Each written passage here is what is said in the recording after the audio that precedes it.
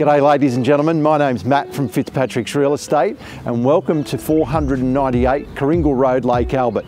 Come through and take a look.